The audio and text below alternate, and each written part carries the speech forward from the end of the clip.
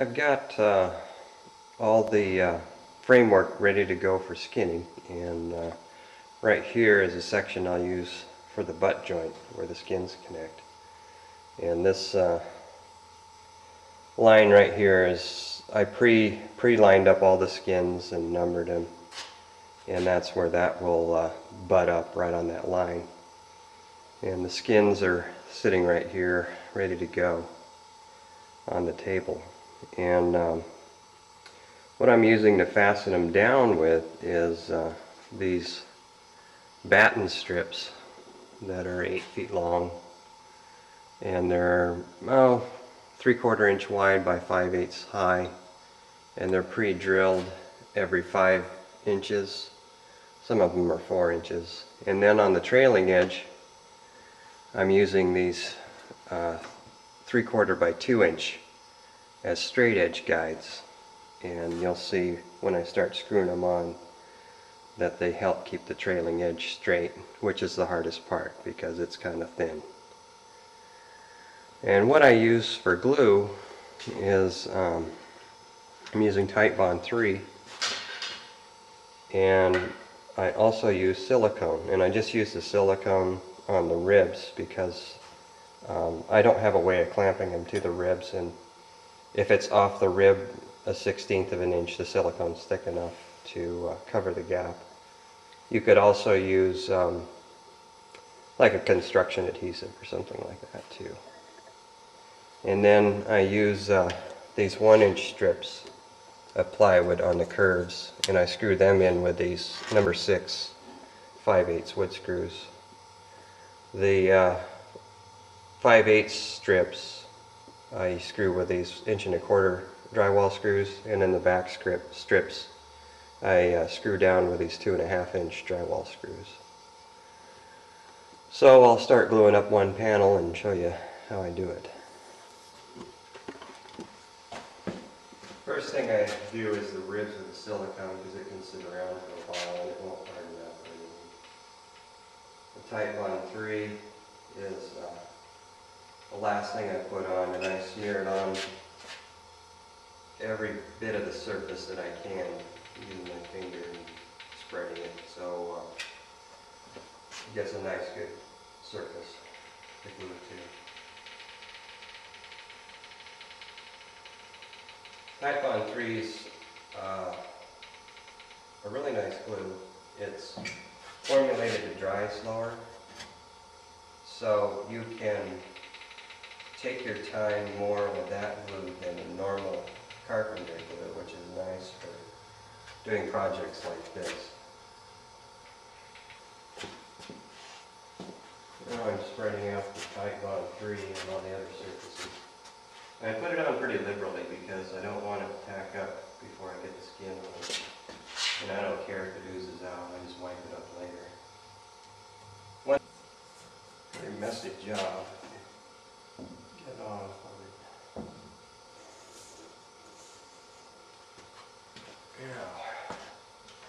take one of my strips and set it down.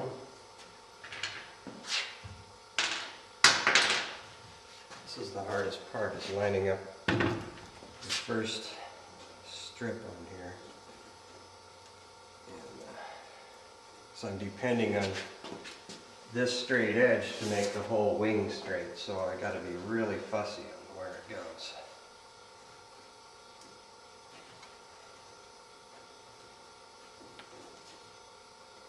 Feels pretty good there.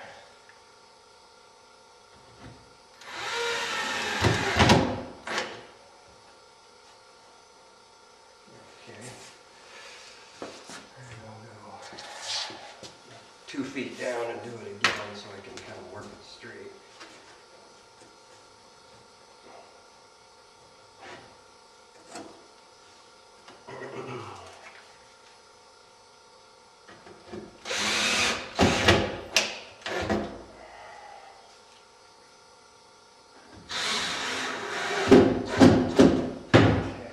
Now I can fill in the screws in between.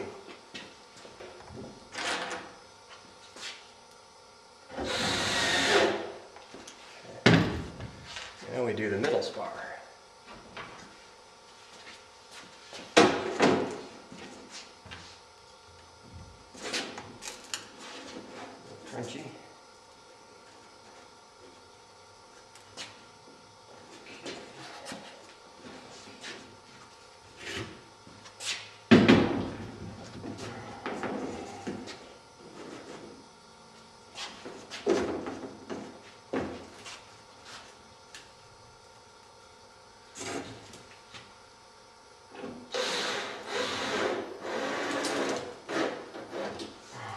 Start in the middle because if you start on an end, it can bend it down and you'll have a crooked seam. So if you start in the middle, hopefully it bends down equally. A little harder to do.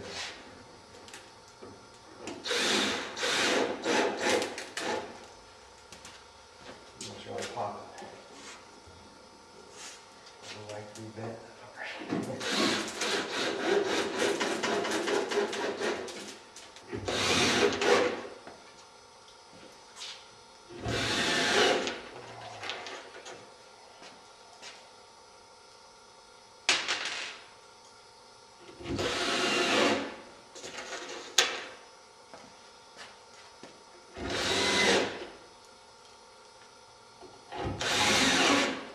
Alright.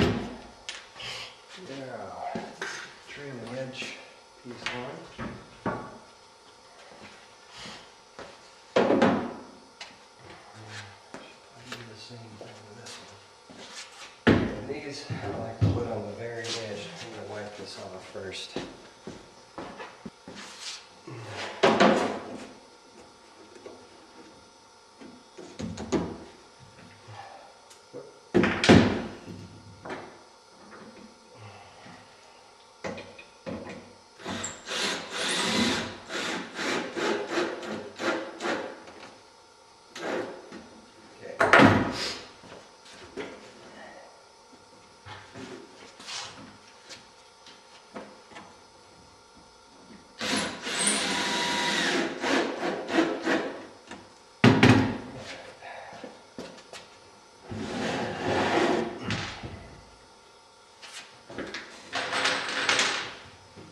This, I like to look at it as I'm doing it, just to make sure it's getting sucked down. And when you tip it up, plus I'm kind of clamping it with my hand on the back, so it gets nice and tight. Looks really good.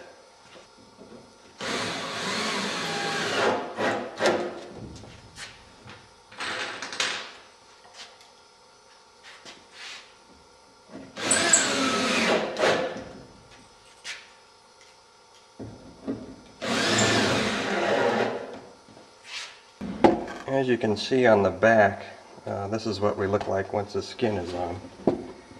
And uh, there's silicone in there oozing out. It's hard to see with the light between the ribs. Everything's actually actually fairly tight. And uh, if there are some gaps, like uh, that end wing rib, on, almost on the very bottom, has a little gap on the nose it's completely filled with silicone, so it won't it won't be a factor. It'll hold tight. Now, what do I what I do with these butt joints is I take some of that one inch eighth inch plywood, ripped into one inch strips, and just cut it here. And use these number six wood screws to screw this down, and it's has to bend, so that's why I use the, the thin material.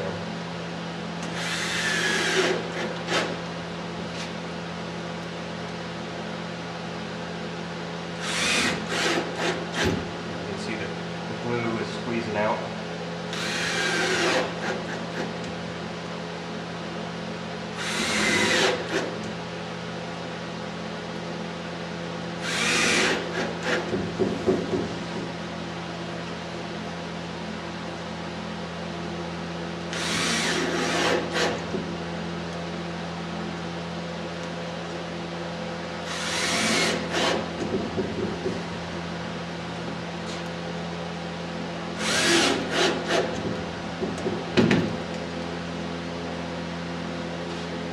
This is the flap that I did yesterday, and it's completely all done, and uh, it's ready to unscrew.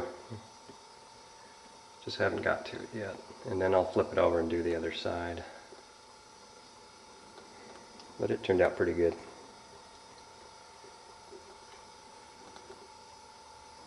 Okay, I've got the flap completely skinned, and uh, I've got the uh, top battens unscrewed and then uh, the bottom screwed in and I'm trying to clamp the uh, trailing edge to the table bench here. Straighten it up a little bit. It's a little bit warped.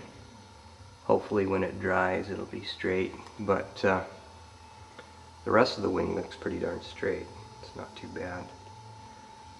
Um, came out pretty well. Then I've got the main wing uh, with half the skin on here. And um, got it glued up. The trailing edge pieces work pretty good. This is the skin side with the battens on it. And next thing I have to do is uh, skin the uh, tips here. I've got one one halfway skinned already, so I'm gonna skin the other one too. This is the flap tip here, and I'm just gonna unscrew the battens because it's dry.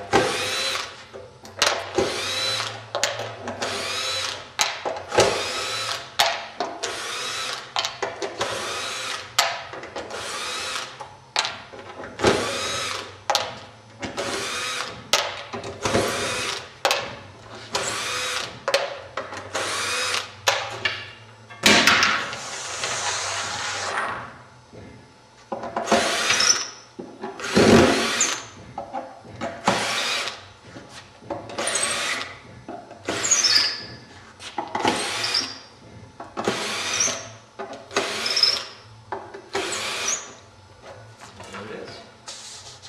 All I have to do is sand these holes down and then fill them with honey and then resand them. It's no big deal. Out pretty good.